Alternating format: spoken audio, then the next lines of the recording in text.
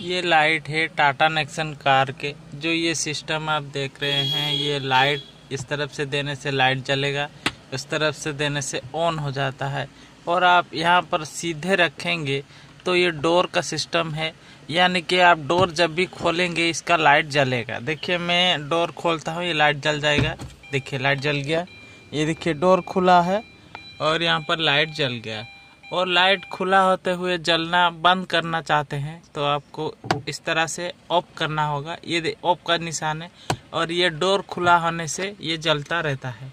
आप जब भी डोर को बंद कर देंगे तो ये खुद ब खुद ठीक पाँच या छः सेकंड के बाद अपने आप बंद हो जाएगा। देखिए, ये बंद हो जाएगा।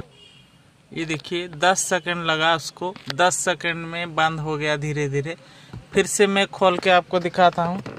देखिए ये डोर खोल लिया फिर से जल गया। इसका यही स्विच है।